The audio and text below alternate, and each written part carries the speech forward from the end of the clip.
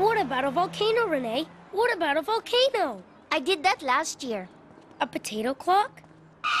A potato clock? That's the oldest science project in the book. No, too simple. Too boring. Speaking of simple and boring... You got our homework done? And two of them, right? So we each get a copy. I bet I get a higher mark than you guys. Do not. Do too. Do not. What are you looking at, Jacob 2-4? Nothing, nothing. you guys hear an echo? I am not surprised. Since echoes happen in big, empty spaces. What's that supposed to mean? Then again, it's a wonder you can hear anything, since sound does not travel in a vacuum. Oh yeah? Well, you better just watch it, 2-4. Yeah, watch it. Watch what?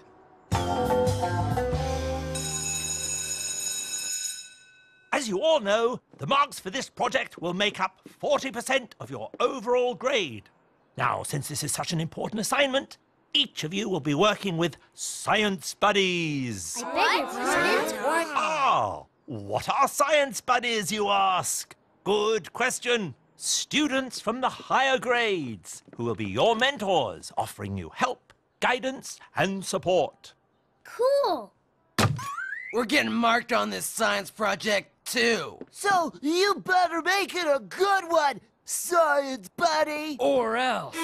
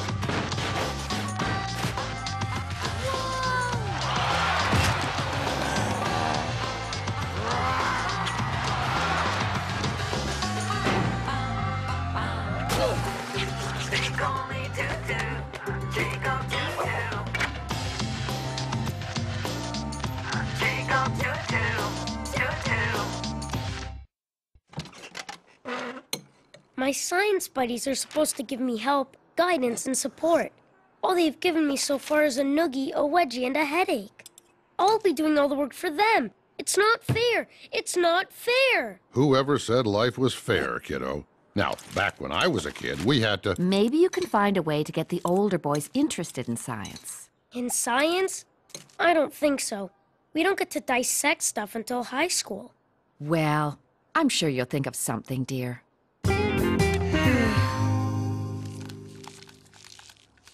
See? You make an electromagnet by wrapping wire around a bar of metal.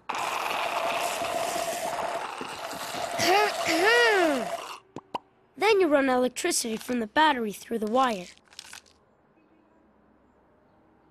No!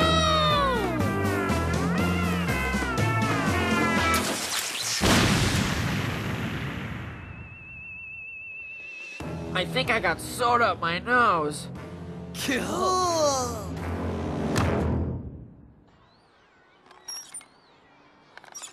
We can show how someone can lift many times their own weight by using a lever. It's a simple tool based on a rudimentary scientific principle.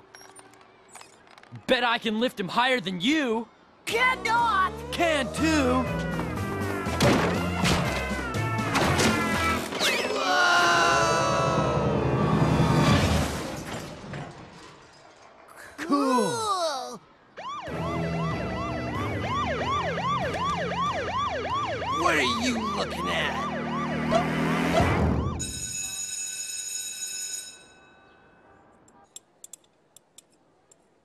How's your science project going, Renee? You will have to ask my science buddy. What's he working on? How to build a space shuttle? He doesn't tell me anything.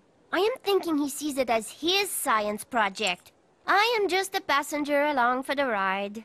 Well, I've three along for the ride. Only they keep grabbing the steering wheel, and we end up in the ditch. Better to be in the ditch than in the dark. Dark Ages is more like it. They think Duchesne putting both fists in his mouth is an awesome science project. That's it! Even they couldn't mess this one up. It's called capillary action. Capillary action. By adding blue color to the water, we'll be able to show how plants like celery suck water up their stems to their leaves using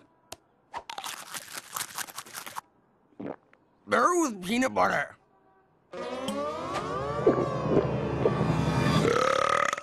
Ah. What? Hey, look at Duchesne!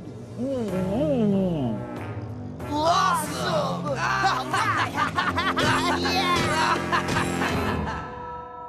I'm finished, Renee. I'm finished. You're finished your project? No, I'm finished with Wilson, Quigley, and Duchesne. They destroy everything I come up with.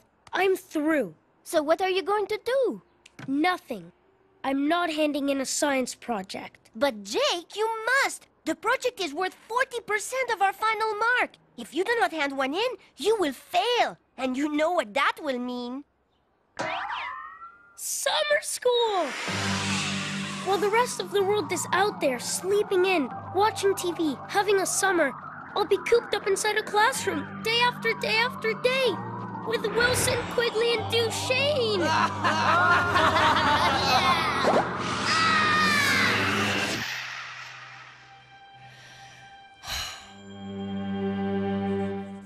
It's a seismograph. Seismograph. I thought we told you to make our project a good one, 2-4. Yeah, that's not half as good as Duchesne's idea. Look, I worked all night on this. Okay, so it's not Galileo's telescope, but it will get us a passing grade. What's a Sizemore thingy anyhow?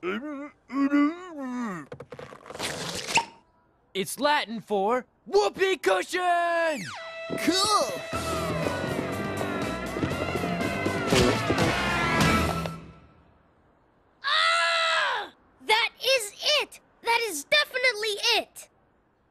So, it wasn't a whoopee cushion?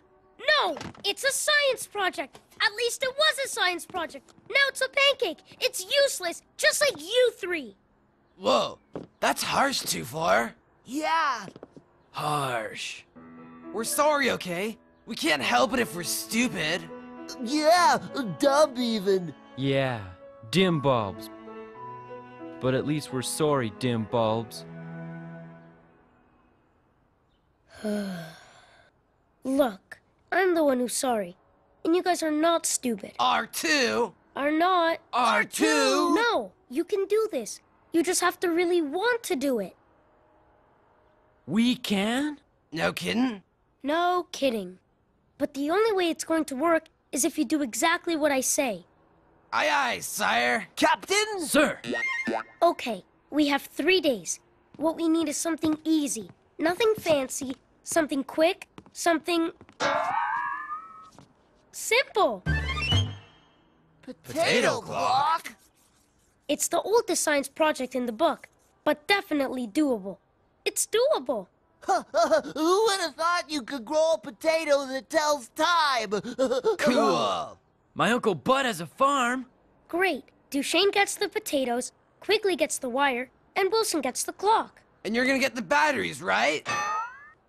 Don't worry about that. What's important is we can do this. we can do it! Bet we can. Yeah.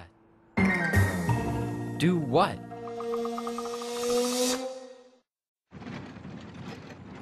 Well, is this enough wire? Um, actually, we only need about this much. I mean, good work, Quigley. Good work. No. I got us a clock. It's huge, Wilson. It's huge. Yeah, it was on the sidewalk. I hauled it all the way over from Benny's place. They were pitching it out. Can you believe it?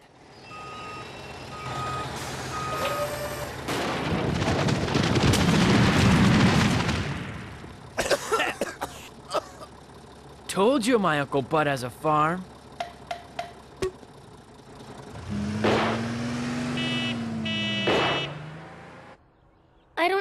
Don't know, guys. A potato clock is, well, usually kind of smaller.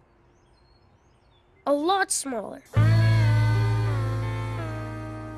But then again, this would be a potato clock like no one has ever seen before. Cool. Yeah! Cool! Yeah! Yeah, cool. Now all we need are the batteries. No batteries. It's the energy from the potatoes that make the clock tick. Cool. All right, let's get to work. One potato, two potato, three potato, four. Five potatoes. Six potato. Uh. Seven potato, Seven potato. more. All I had to do was show them who's boss. You are the boss of three Neanderthals and the potato clock? This won't be just any potato clock, Renee, and the guys are really pitching in. We, it seems you are out of the ditch, Jake. But I am still in the dark. You just have to take charge. Watch. Okay, enough with the top secret stuff. Renee wants to know what her science project is. Now.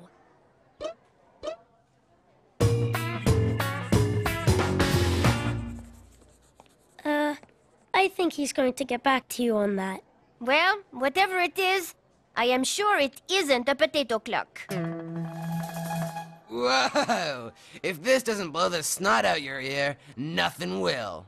This must be what it feels like to walk on the moon.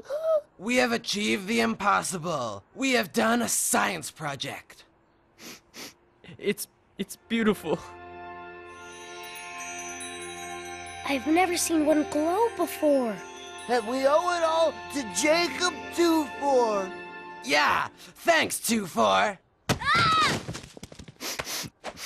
They call me Jacob Two-Two. Jacob Two-Two. Who does? We'll teach him not to make fun of our little science buddy. Yeah.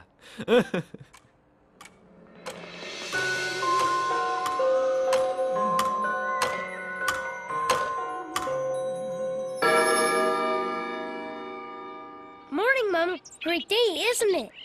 Well, it sounds like your science project has taken a turn for the better. Better than better. It's finished.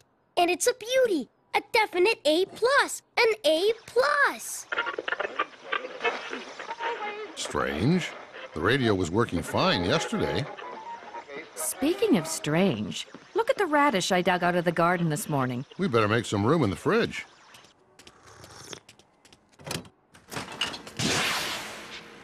Did you change the fridge light? I think you used the wrong bulb. I haven't touched it.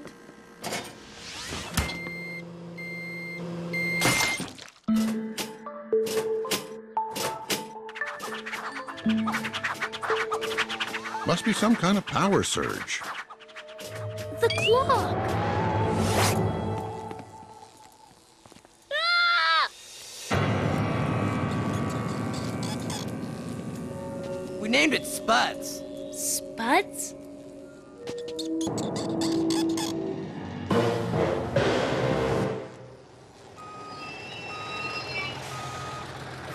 Not again.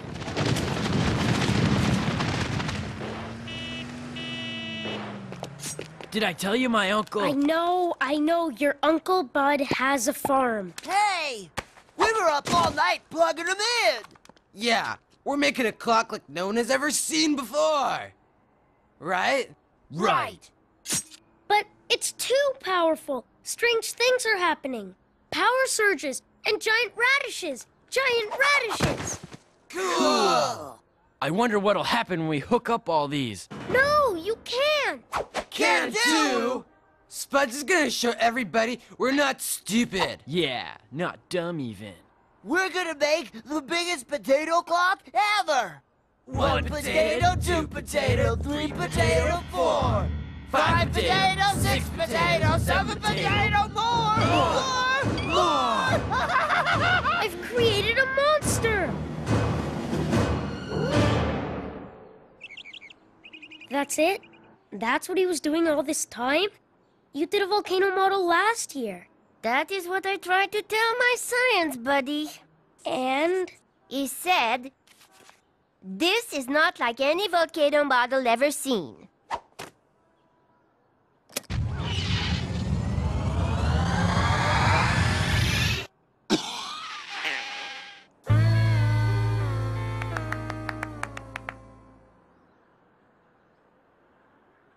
I hope this is the last I ever see of science buddies. tell me about it.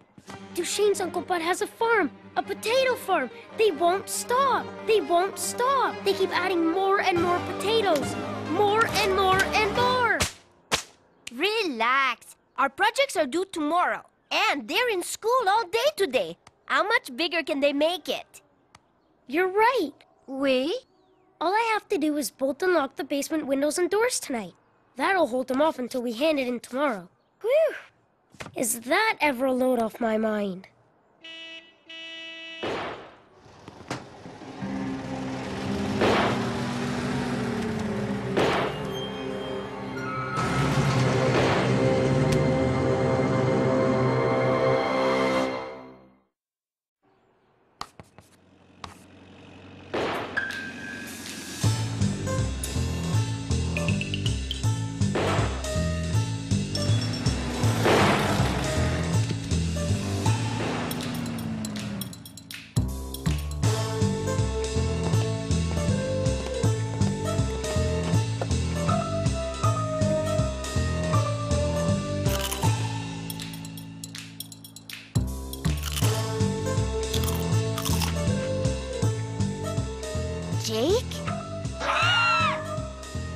What's wrong with you? Hey, Jacob. Good morning, boys and girls.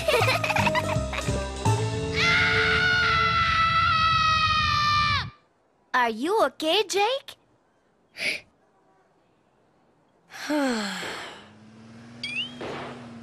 Uncle Bud? Again?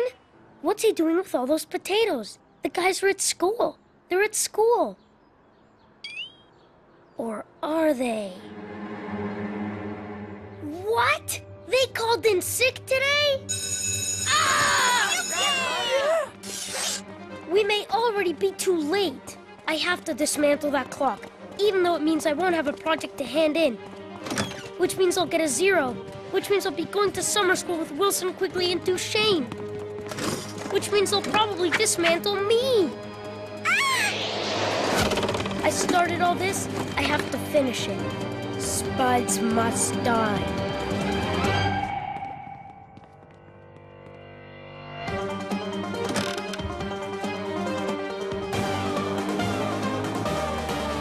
Ah! Jake, what is it? It's gone. They've moved it. But why would they do that? Because my basement was too small. They're making it bigger, Renee. A lot bigger.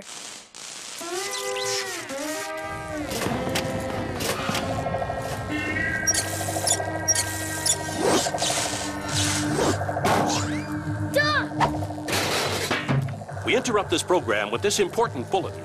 Scientists across Canada and around the world are working feverishly to find the cause of a mysterious power surge that has the entire city of Montreal in a state of panic. Some fear this unknown force is powerful enough to disrupt the Earth's magnetic field and knock the world off its orbit. We now return to more golden oldies from the top of the Canadian pop charts. We have to find it. We have to find Spuds. This is all your fault. You made us do it! Yeah, are you ever in trouble? Where's the clock? We handed it in! It's due tomorrow!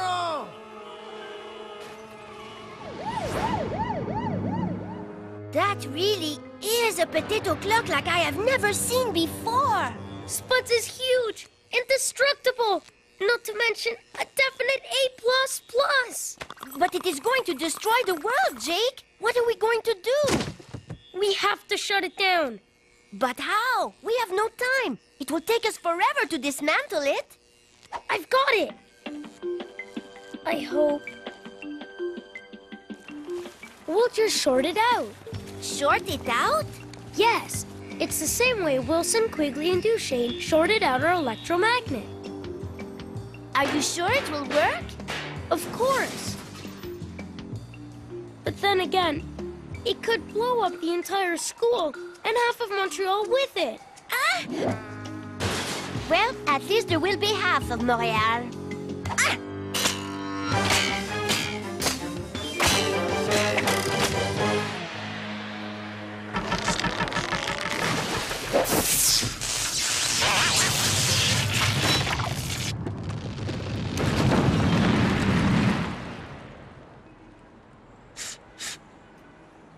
French fries? Mashed.